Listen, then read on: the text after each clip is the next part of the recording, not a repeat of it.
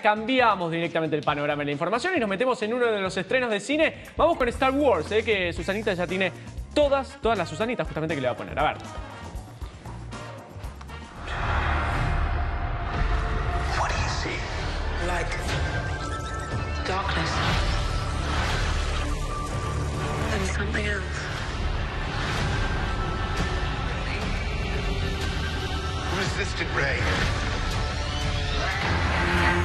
Darkness rises and light to meet it. Permission to jump in her next wing and blow something up? Permission granted.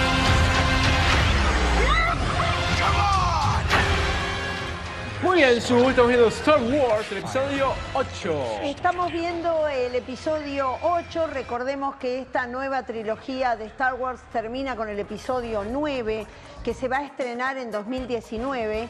Así que bueno, todo el mundo está empezando a juntar ganas después de ver este episodio 8 que se hizo esperar. Recordemos que en el interín murió Carrie Fisher, que es la princesa Leia Organa, eh, hermana de Luke eh, Skywalker. Bueno, los dos tienen apariciones mucho más potentes en esta película donde Rey recupera ya toda su fuerza para luchar contra el lado oscuro. La verdad es que la película es muy interesante en efectos especiales, no tiene mayores novedades respecto de lo que fue El despertar de la fuerza o eh, Star Wars 7. En el medio también hubo ahí una especie como de precuela o spin-off que es eh, Rogue.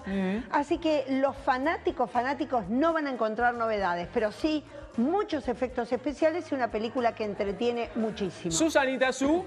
Susanitas, cuatro Susanitas para Star Wars 8. Muy bien, bueno, ¿vos sos así fanática de Star Wars o, o no? No, pero sí admiro lo que, lo que el emporio Sí, de George Lucas ha llegado sí, a hacer total. con esto, que es increíble. Y además, el fanatismo que ha provocado alrededor del mundo, que tiene club de fans en todos lados. Vamos ¿no? con la próxima, ¿te parece? Vamos con la próxima, que resultó ser una sorpresa Good Time. Oh, yeah. Vivir al límite. ¿Por qué? Porque Robert Pattinson sale de, esa, de ese papel de vampiro y del papel, de los papeles que hizo en las películas de Cronenberg y de Werner Herzog.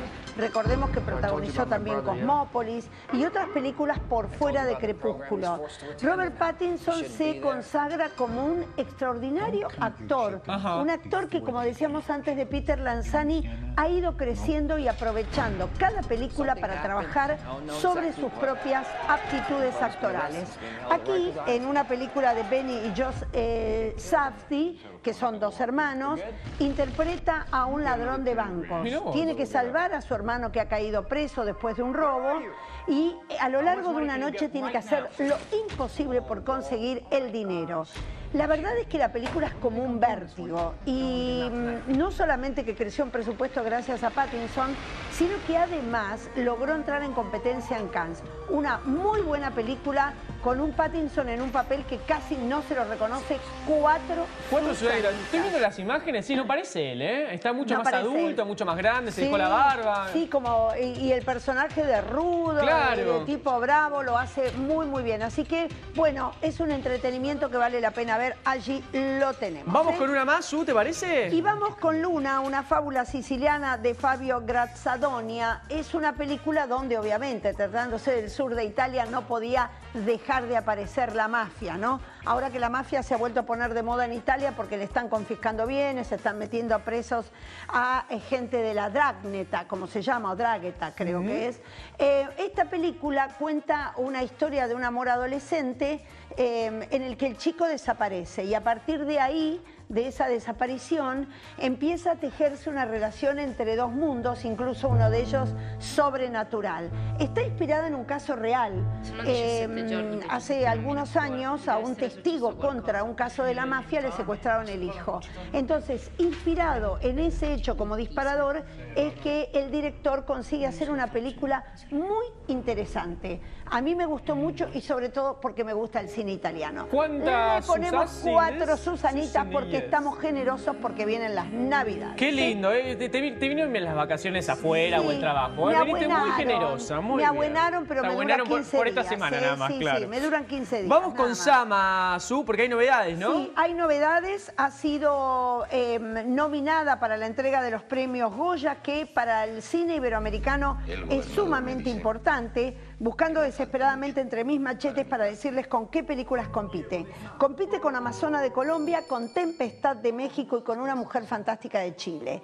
Yo la veo luchando ahí más con Chile que con las otras Ajá. dos, porque Una Mujer Fantástica es una muy buena película que además Chile ha propuesto como película eh, de su país para eh, el Oscar, ¿no? Así que atención, pero creo que Sama este, va a conquistar muchísimo a la academia, básicamente porque Almodóvar es uno de sus productores. Bueno, y hablaste justamente de los Oscars, pero nos adelantamos un poco y hablamos de las nominaciones de los Globo de Oro. Así es, la película de Guillermo del Toro que se va a estrenar aquí en febrero, La forma del agua.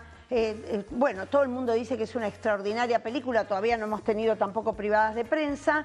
Es la más nominada, tiene siete nominaciones este, a los premios Globo de Oro. Sabemos que el Globo de Oro ya no es como eh, una especie de pálpito para el Oscar, pero de todos modos que la crítica extranjera la considere con siete nominaciones es muy importante. Y en segundo lugar esta película que estamos esperando todos los periodistas, que es eh, Post, Los papeles secretos del Pentágono, eh, en la que vuelve a aparecer eh, Tom Hanks, pero aquí por primera vez trabaja con Meryl Streep. Así Ah, que hay mirá un, hay ¿Nunca habían un trabajado duelo, antes? nunca, nunca es la primera vez que trabajan juntos.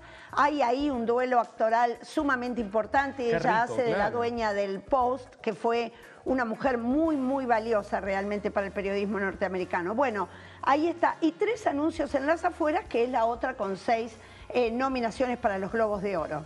Muy bien. Es la primera gala que vamos a ver el 7 de enero. De todas las películas que están nominadas, en la Argentina se estrenó una que es Dunkerque, que la vimos acá y la recomendamos porque es una muy buena película de Chris Nolan. Bueno, vamos a las series. Si te parece que yo soy fanático de las series. ¿Cómo no? Y vamos con el asesinato de Gino Versace. Vamos con el ¿Eh? asesinato de Gino Versace. Mientras tanto voy buscando desesperadamente mis machetes. Con Ricky porque- Martin, ¿no? Pues, a ver si- a no, no, no, por supuesto. Se estrena el 20 de enero Sí. en Fox en la televisión eh, por cable de la Argentina. Aquí hay un... el- Gianni Versace está encarado por, eh, encarnado por Edgar Ramírez, un actor eh, em, de raíces latinas que siempre ha hecho de malo, Sí. de rudo, de bravo, así que verlo hacer del, del gran eh, modisto internacional, que además era gay, tenía su pareja, y precisamente Ricky Martin es la pareja que lo descubre muerto después que al llegar a su mansión allí en Miami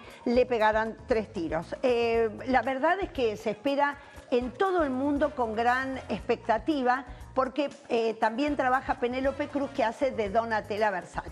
¿eh? Muy bien. Una- 20 entonces uno de de enero. los estrenos en la televisión paga del mes de enero. Muy bien, me copa, me copa. Bueno, gracias. Su. ¿eh? Por Eh, favor. seguimos todos en el living, si te parece, te invito al living. Ay, sí, por favor.